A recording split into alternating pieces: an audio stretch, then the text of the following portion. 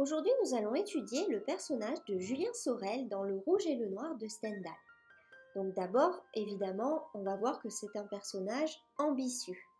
Mais Julien sentait que la haine qui venait de l'agiter, malgré la violence de ses mouvements, n'avait rien de personnel. Julien ressent de la jalousie envers les personnages d'un rang social supérieur au sien.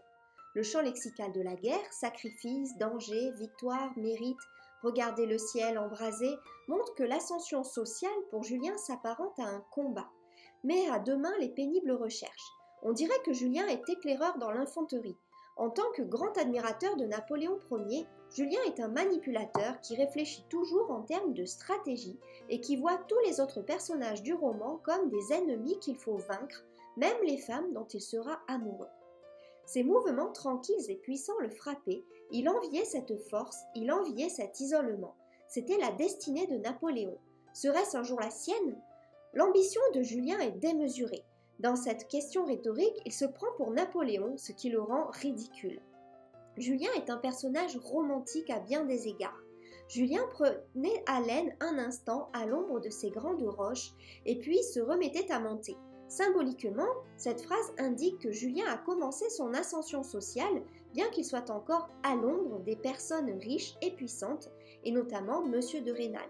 Le maire de Verrières était bien toujours à ses yeux le représentant de tous les riches et de tous les insolents de la terre. Il se trouva debout sur un roc immense et bien sûr d'être séparé de tous les hommes. Le fait d'être debout sur un rocher est un topos romantique, et Julien se sent différent des membres de sa famille, car c'est pour cette raison qu'il est représenté comme isolé et placé en hauteur. L'air pur de ces montagnes élevées communiqua la sérénité et même la joie à son âme. La visualisation de son futur succès rend Julien serein et euphorique. Il voyait à ses pieds vingt lieues de pays. Julien veut mettre le monde sous ses pieds. Quelque épervier parti des grandes roches au-dessus de sa tête était aperçu par lui de temps à autre, décrivant en silence ces cercles immenses l'épervier représente Julien qui réfléchit à sa stratégie. Les caractéristiques romantiques de Julien se remarquent tout particulièrement au chapitre 19 du deuxième livre, lorsque Julien rejoint Mathilde dans sa chambre. Plusieurs fois, l'idée du suicide s'offrit à lui. Cette image était pleine de charme, c'était comme un repos délicieux, c'était le verre d'eau glacée offert aux misérables qui, dans le désert, meurent de soif et de chaleur. Cette pensée de Julien est très exagérée par rapport à la situation qu'il est en train de vivre, puisque le motif qui causerait sa mort est un simple refus de recevoir un baiser sur la joue. C'est une parodie de la scène du balcon dans Roméo et Juliette de Shakespeare. Puis-je être plus malheureux se disait-il? Julien exagère la situation car il pourrait vivre des malheurs plus grands que de ne pas donner un baiser sur la joue de Mathilde. Il courut à l'échelle, le jardinier l'avait enchaîné. À l'aide du chien d'un de ses petits pistolets qu'il brisa, Julien, animé dans ce moment d'une force surhumaine, tordit un des chaînons de la chaîne qui retenait l'échelle. Il en fut maître en peu de minutes et la plaça contre la fenêtre de Mathilde. Le narrateur dramatise la situation en enchaînant une succession d'actions rapides et en montrant que Julien est confronté à des difficultés qu'il doit résoudre en se montrant soi-disant héroïque. Mais bien sûr, il est ici complètement ridicule, c'est un anti-héros. Elle veut ouvrir la persienne, l'échelle s'y oppose. Julien se cramponne au crochet de fer destiné à tenir la persienne ouverte et au risque de se précipiter mille fois, donne une violente secousse à l'échelle et la déplace un peu. Mathilde peut ouvrir la persienne. La dramatisation du récit est encore euh, très visible dans cette phrase car un simple devoir semble être très difficile pour Julien. Le narrateur utilise des mots comme cramponne, violente, ce qui nous donne l'impression que Julien fait quelque chose de vraiment difficile. Mais cela montre surtout que Julien est très maladroit et impulsif, car si Mathilde ouvre les volets, elle fait tomber l'échelle, donc Julien n'a pas du tout réfléchi avant d'agir. La rapidité des actions est soulignée par le passage au présent de l'indicatif ici. C'est donc toi, dit-elle en se précipitant dans ses bras. Le narrateur dramatise ironiquement la situation en faisant en sorte que Mathilde soit supérieure à Julien et qu'elle démontre plus de force que lui. Donc encore une fois, Julien apparaît comme un anti-héros auprès de Mathilde. Julien est présenté comme un personnage très orgueilleux, qui se soucie plus de sa réputation que de son amour, pour lequel il dit pourtant risquer sa vie. Quel souvenir je laisserai Julien est un personnage calculateur, puisqu'il passe son temps à imaginer ce que Mathilde pense et comment il pourrait la manipuler. ma mort augmentera le mépris qu'elle a pour moi. Tombé dans ce dernier abîme du malheur, un être humain n'a de ressources que le courage. Donc, ce passage montre clairement la critique du narrateur par rapport à son personnage, car elle fait un commentaire qui ridiculise Julien, mais cela montre aussi que le narrateur est omniscient. Julien n'eut pas assez de génie pour se dire il faut oser. Encore une fois, le narrateur ridiculise Julien, car ici il critique le fait que son héros n'a aucun courage et qu'il n'a pas non plus beaucoup d'intelligence dans cette situation. D'ailleurs, Julien est également dépourvu d'imagination. Il se figurait cette chambre charmante qu'il avait vue, hélas, une fois en sa vie. Son imagination n'allait pas plus loin. La déception du narrateur à l'égard du héros est soulignée par hélas. Ce fut l'éclair du génie. Le narrateur critique encore une fois l'intelligence de Julien, car il ne faut pas grand-chose pour prendre une échelle et pour grimper à la fenêtre de quelqu'un.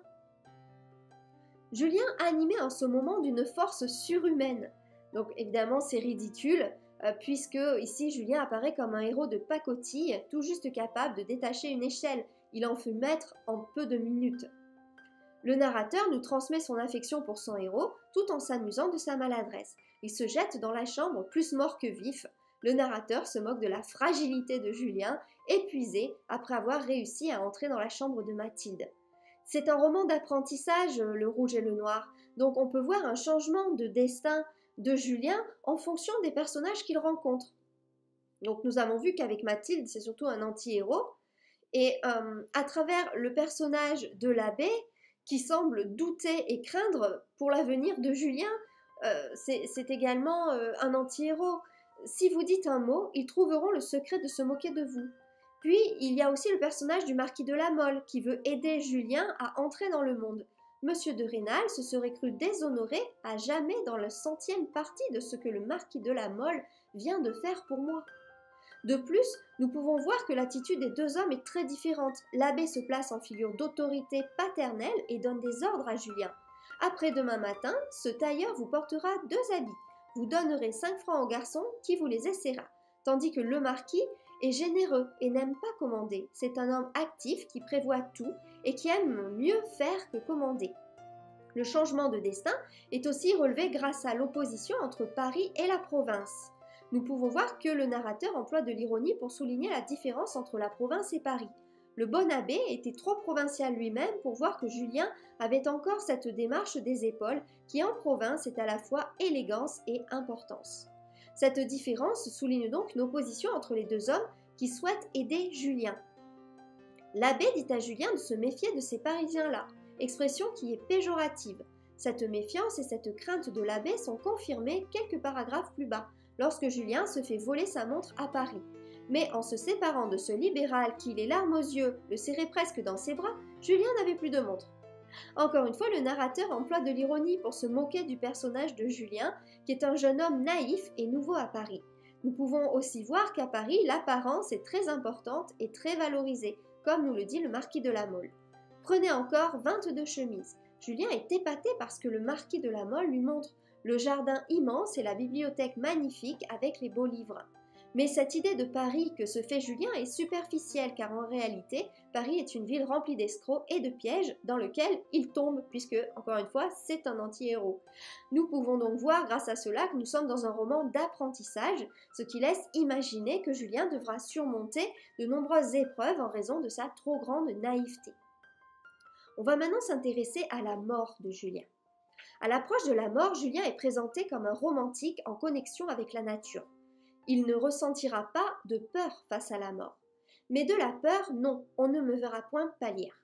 De plus, ce qui va accentuer l'aspect romantique de ce personnage est le choix qu'il fait pour son enterrement, dans une grotte qui lui rappelle son ambition passée. En effet, c'est depuis la vue que l'on a sur cette montagne que Julien a ressenti que l'ambition a enflammé son cœur.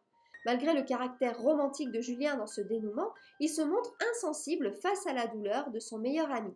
Après lui avoir demandé plusieurs services dans les derniers moments passés avec son meilleur ami, il se plaint de l'état du cachot. Ce cachot, si laid, si humide, me donne des moments de fièvre où je ne me reconnais pas. Et toujours insensible à son ami, Julien va se montrer courageux pour satisfaire son orgueil quand il dit qu'il ne ressentira pas de peur face à la mort. Il donne plus d'importance à son orgueil qu'à son meilleur ami, à cet instant de mourir. C'est peut-être une manière pour Julien de mettre derrière lui son bonheur et de faire face à la réalité qui est celle de son exécution imminente. Une fois de plus, c'est l'orgueil qui dicte sa conduite à Julien.